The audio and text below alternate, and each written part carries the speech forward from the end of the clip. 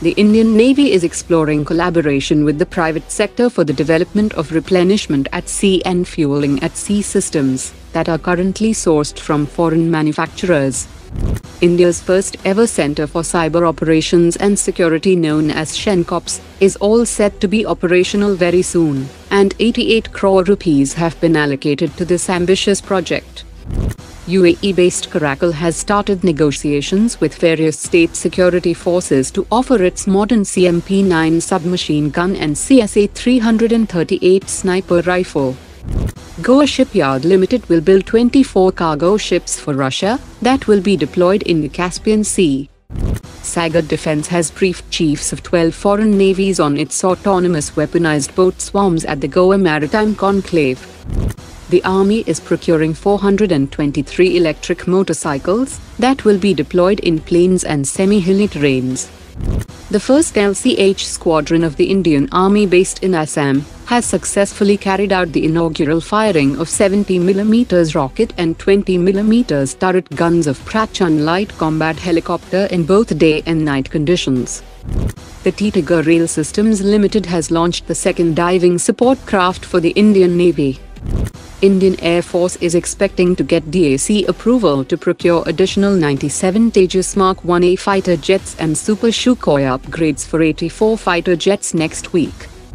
Pakistan is actively testing MIRV-capable missiles to counter India's development of a ballistic missile defense system that undermines Pakistan's nuclear deterrence capabilities.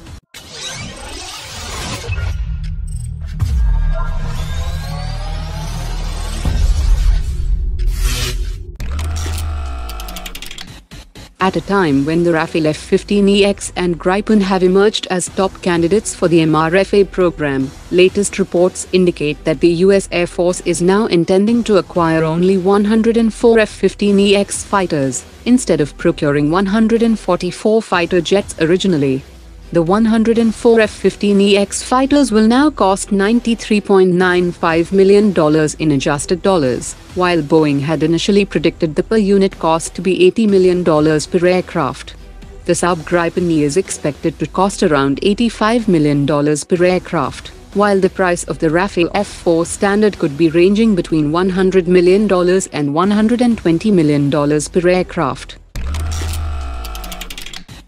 Indian and Russian officials are planning to hold a meeting to discuss the final delivery schedule for the remaining two S-400 squadrons.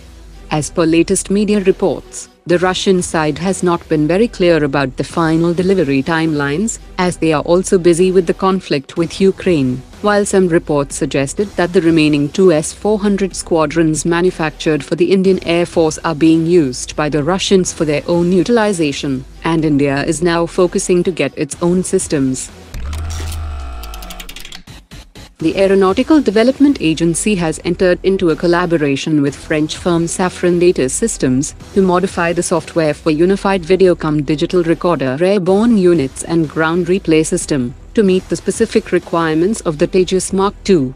The software modifications and enhancements for both these systems will allow the aircraft to record and manage a wider range of data, ensuring that it meets the demands of modern warfare. Today's top 3 comments